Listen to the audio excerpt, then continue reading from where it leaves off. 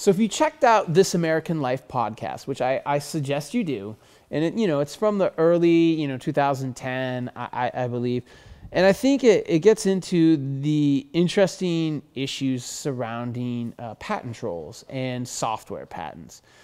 Now we're gonna watch a film uh, in our next unit about software patents. You know it's a shorter film, but it talks about so- software patents, and it's really just important to note that like software hasn't always been patentable or patentable as a process. In fact, uh, through you know the 80s primarily, you could only copyright the code for software. You couldn't copyright how it does what it what it does, and now that's copy uh, patentable subject matter. But what they talk about in this this American Life podcast is like, yeah, freaking patents make it so um, it's safe to share your ideas. When you patent, file for a patent on something, you have to make it public domain. And meaning you have to make, you have to share how you do what you do.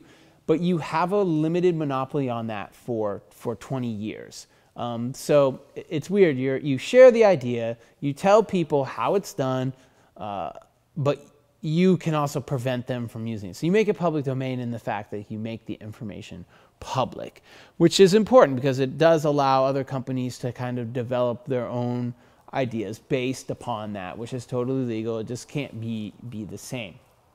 Okay, but they give some information. You know, from 2004 to 2009, uh, you know there was a ton, a huge increase in patent lawsuits, and this has mostly to do with uh, smartphone technologies. Uh, pr- pr- primarily a battle between Google and uh, Steve Jobs at Apple. Um, you know, he was going to go thermonuclear on, on, people. But, you know, in that time, you know, uh, there has been a ton of license increase of 650% of licensing requests. And this is again because companies are patenting basic ideas around smartphones and they're, they're making other people pay for access to those ideas or to use those ideas on their on their technology on their smartphones okay? But what does a patent troll do? Now if you check this out and you learned a little bit about intellectual ventures a patent troll essentially is an entity that hoards intellectual properties so they buy patents catalogs of patents maybe junk patents patents that aren't really they don't really there's no actual real technology there. It's just kind of an idea. And they uh, they essentially make no products so they don't invent any new products. They don't make anything new. Uh, they simply hoard patent catalogs or intellectual properties. They don't make anything new and they look to basically sue. Their whole business is buy patents find people who are maybe infringing upon them threaten them with a lawsuit settle out of court make money. And most of them are based in the Cayman Islands. They'll have an empty office somewhere in the United States. They particularly intellectual ventures is in this in, in Texas. Okay. But the, the thing here, and they go over this in the podcast, is that, you know, hey, guess what? Patent actually has a chilling effect on innovation.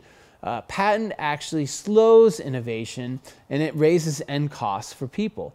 This is not necessarily a great thing because that's not, you know, that's not what we should really want for the world in general. But if you're a company investing a lot of money into researching and developing something, you should be able to recoup that, that investment. And most companies, in fact, uh, don't recoup their investments on, on uh, research and development because so few things they're able to get patents on, and so few of those patents are actually profitable in, in the marketplace. Okay? They go over in this podcast how patenting, as I said, is a resource based activity. So you need to have money, you got to pay to friggin' play.